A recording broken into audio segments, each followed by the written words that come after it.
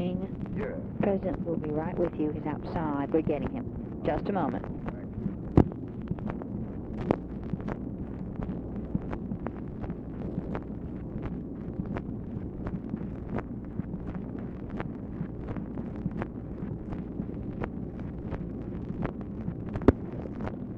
Hello?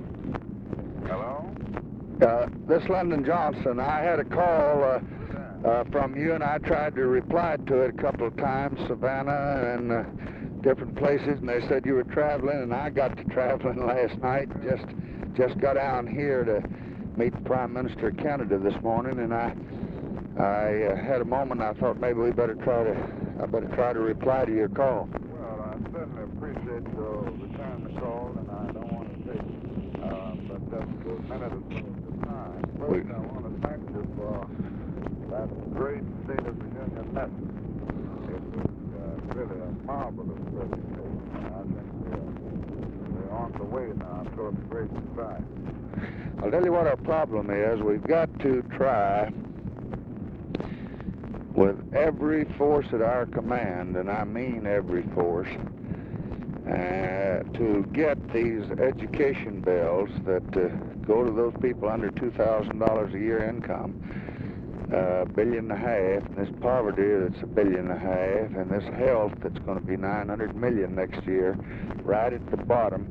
We've got to get them passed before uh, the the the vicious forces uh, concentrate and uh, and get them a coalition that can block them.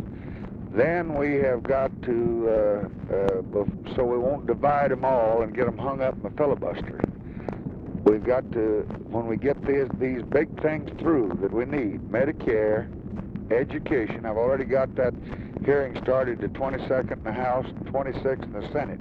Your people ought to be very, very uh, uh, uh, diligent in looking at those committee members that uh, come from urban areas that are friendly to you to see that those bills get reported right out because uh, you have no idea. It's shocking to you uh, how much benefits uh, the, uh, they will get.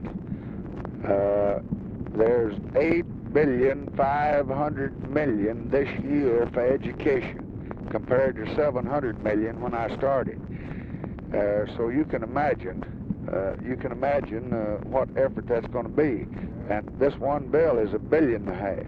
Now, if we can get that, and we can get a Medicare, we ought to get that by February. Uh, then uh, uh, we get our poverty. Uh, that will be more than double what it was last year. Then we've got to come up with the uh, uh, uh, qualification of voters. That will answer 70% of your problems. Right. If you just clear it out everywhere, make it age and read and write. No tests on uh, uh, what Chaucer said or, or Browning's poetry or constitutions or, or memorizing or anything else. And then you may have to put them in the post office. Let the postmaster, that's a federal employee that I control, uh, who they can say is local. He's recommended by the congressman. He's approved by the senator. But if he doesn't register everybody, I can put a new one in. Yeah. And uh, it's not an outside Washington influence. It's a local man. But they can just all go to the post office like they buy a stamp. Now I haven't thought this through, but that's uh, that's my general feeling. And I've I've talked to uh, the Attorney General, and uh, I've got them working on it. I don't want to start off with that any more than I do with 14B because I wouldn't get anything else. Yeah. Yeah. Do you, and I don't want to publicize it. But I want to. That's that's. I wanted you to know the outline of what I had in mind. Yes, well, I remember you mentioned it to me the other day at the White House, and I have I've been very diligent in not uh, making this statement. Well, your statement was perfect about the votes important, very important, and I think it's good to talk about that. And uh, I just don't see how anybody can say that a man can fight in Vietnam, but he can't vote uh, in uh, the post office. Yeah, yeah. Well, Mr. President, I'll tell you the main thing I wanted to share with you uh, really rose out of conversations that I've had with uh, all of the civil rights leaders, I mean the head of the civil rights organization, Yeah. as well as uh, many people uh, traveled with.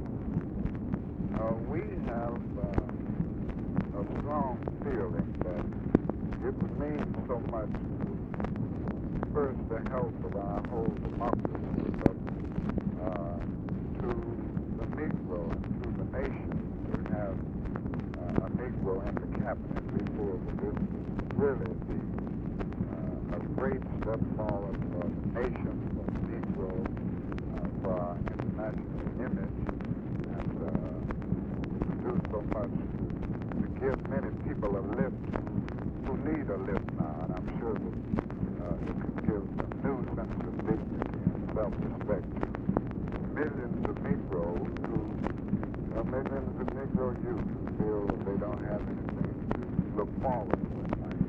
I agree with that. I have uh, uh, I have not uh, publicly uh, shouted from the housetop, but uh, I I have had him sit in with me. Uh, I the first move I made was to put one on the Security Council and to put one in uh, in the charge of uh, every bit of uh, uh, the information and went to all of the 120 nations and take him out of an important ambassador post. And I am trying my best to get the uh, the the uh, uh, housing and urban and city problems, which is the number one problem in America, as I see it, made into a cabinet post.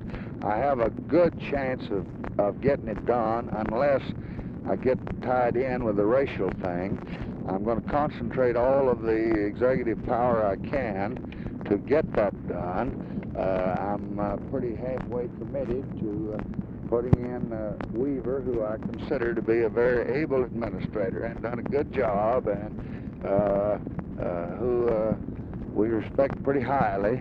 Uh, and I, I, I'm trying to bring in others as assistants and deputies. I talked to them it, no longer than two hours ago about trying to get one in charge of maybe African affairs if Williams left.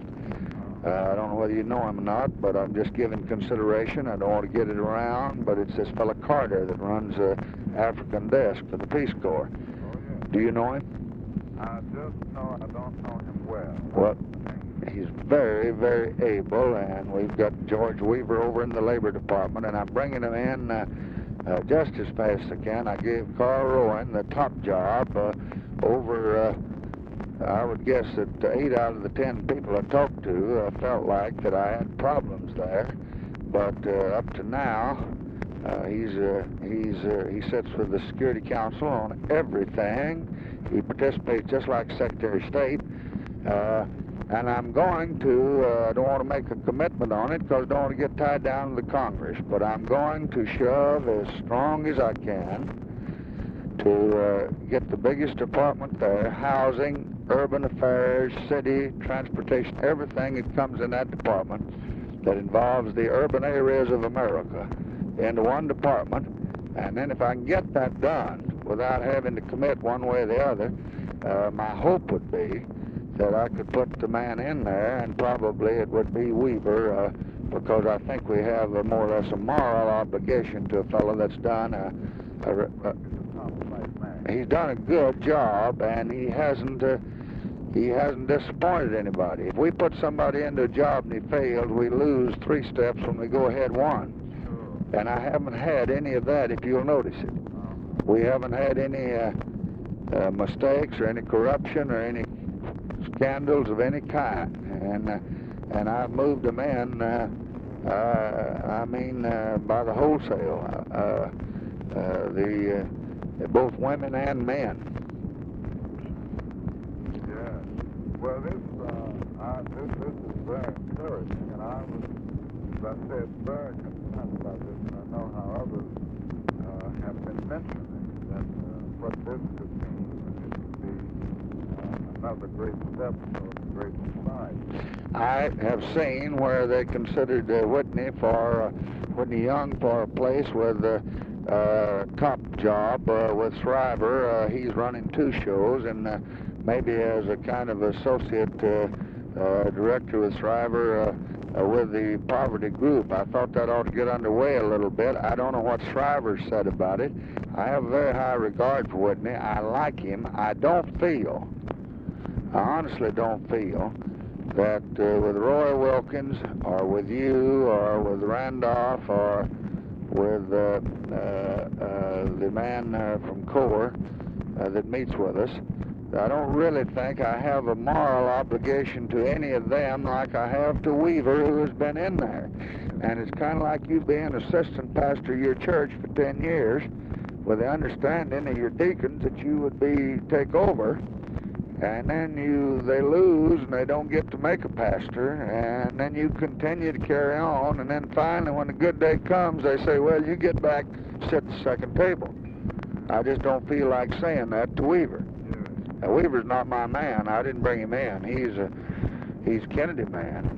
But uh, i just uh, think that uh, there'd be a pretty uh, revolutionary uh, feeling about him. Uh, uh, I, I, Carl Rowan's not my man. He's a Kennedy man, but he's got the biggest job in government, and it's a, it's a, it's a, it's a cabinet job. He sits with the cabinet every time. He sits with the Security Council every time. And I did it the first month I was in office. Yeah. I don't throw it around to uh, to cause him to be attacked by his appropriations because the Southerners handle. McClellan handles his appropriations.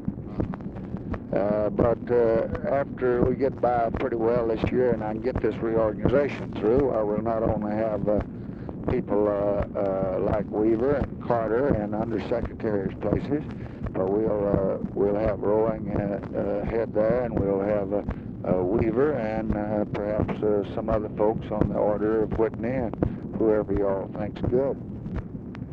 Well, we think very highly of Whitney, I do too. play a role.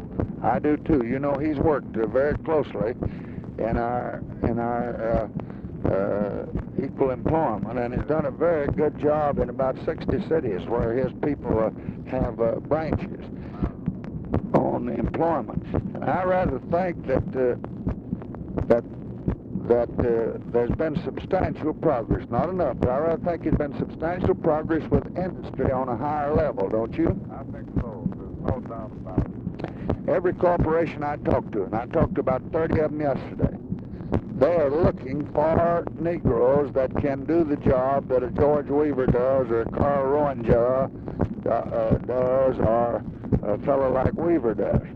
If we have some of them, and if you have some of them, and you get them to Hobart Taylor, we can find uh, companies that will use men of that quality. Then when they get in, they can look after the ones below them like you're looking after your people.